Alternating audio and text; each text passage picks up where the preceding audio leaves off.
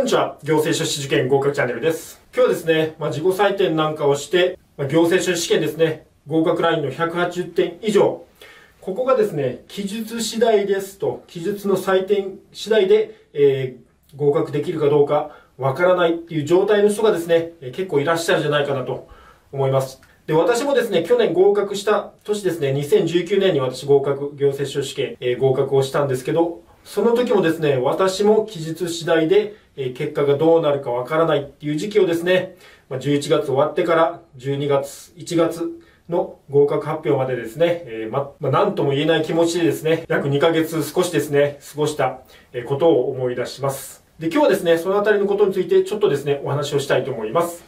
まあ、チャンネル登録まだの方は、このチャンネルでは私が行政書試験合格した経験に基づいて勉強方法などをお伝えしていますので、ぜひチャンネル登録の方もよろしくお願いいたします。まあ今ですね、まあ自己採点して、択一だけでですね、一般知識もクリアして180点以上あるという方はですね、まあほぼほぼまあ、マークシートミスとか、え、ない限りですね、今合格ラインに行ってるんじゃないかなと思うんですけど、やはりですね、そうじゃなくて、この記述次第、まあ、170とかですね、160点、150点台の人、記述次第で180点に届くか届かないかっていう方がですね、結構、えー、いらっしゃると思います。で、私もですね、冒頭言った通りですね、えー、記述次第で、去年ですね、合格したんですけど、記述次第の、記述次第というような、えー、状況でした。私の場合は択一で、まあ、一般知識はですね、クリアしてたんですけど、択一で合計152点の、えー、結果でした。それで、記述がですね、まあ、記述がですね、28点以上あれば、この合格ライン180点に届くというところの状態だったんですね。で、私の感触ではですね、記述の3問中2問はですね、そこそこ書けたかなと、えー、ポイントは押さえたかなっていう、えー、手応えはあったんですけど、まあ、予備校のですね、記述の、まあ、採点サービスなんかでチェックしてもらうと、その28点に届かないというようなケースもですね、あったりしました。なので、本当にもうどうなるかっていうところがですね、わからなかったです。ですけど、まあ、蓋を開けてみるとですね、まあ、こちらですね、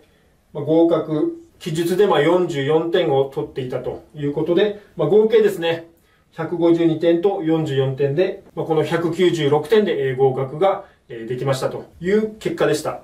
でですね、記述の採点、行政書士試験の記述の採点ですね、やはりですね、まあ、毎年そうなんですけど、なかなかですね、えー、はっきりした基準、まあ、それから内訳なんかもですね、開示されないので、本当にですね、どんな、えー、どんなですね、えー、点数になるのかっていうのが、やっぱり見えないです。ですので、今ですね、記述次第だっていう方はですね、やはりですね、どうなるかわからないところがありますので、まあ、望みはですね、まあ、捨てないようにした方がいいと思います。もちろんですね、えー、無責任なことは言えないんですけど、で、そこでですね、記述次第の人で、もしですね、とは言ってもですね、もし1月の合格発表で合格していなかったらどうするか。要はですね、合格していなかったら、もう一度、2021年度ですね、行政書士試験を受験目指すのか、もしくはですね、もうそこで、え、一旦諦めるのか、ということはですね、もし今の段階で決めれるのなら、決めておきましょう。で、受験をですね、それでももう一度挑戦するんだということがはっきりしているのであれば、この待っている時間ですね、合格発表の、1月の合格発表の間の時間もですね、ぜひ、今まで勉強してきた、えー、蓄積がありますので、それを無駄にしないようにですね、勉強、少しずつでもいいですから継続をですね、していきましょう。やはりですね、途中で中断してしまうと、また再スタートとなるとですね、それだけですね、やっぱりハードルまたスタートし直すのがですね、高くなります。ですので、できればですね、今まで勉強してきたペース、これをですね、できるだけ保つようにして、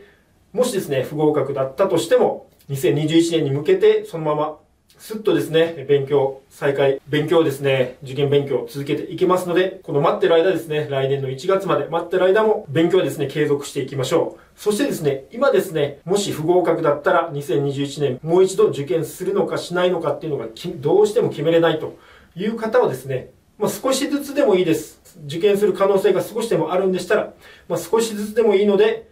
この1月の合格発表までですね、勉強の方を継続をしていくことをお勧めします。でもしですね、不合格でもやっぱりもう一度やりたい、受験したいという気持ちがですね、出てきた時にですね、少しでもその間勉強しておくとですね、その分、やはりですね、再スタートするの楽になりますし、えー、有利になってきますので、そのあたり念頭に置いてですね、えー、過ごしていただければなと思います。まあ、実際私もですね、記述次第で待っているこの合格発表まで待っている期間ですね、11月から1月まで。この時もですね、まあ、もしも落ちてても、もう一度、えー、挑戦しようという気持ちでいましたので、待ってる期間もですね、まあ、民法の改正点とかですね、そうしたものをですね、まあ、YouTube 上でもアップしながら、えー、勉強の方はですね、え、継続をしていました。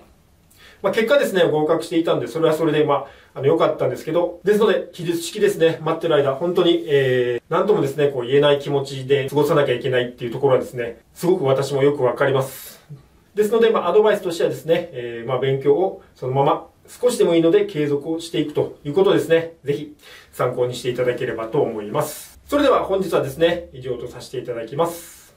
まあ、今後もですね、行政書試験に必要な勉強法などお伝えしていきますので、チャンネル登録まだの方はぜひチャンネル登録の方もよろしくお願いいたします。それでは本日も最後までご視聴いただきましてどうもありがとうございました。それではまた。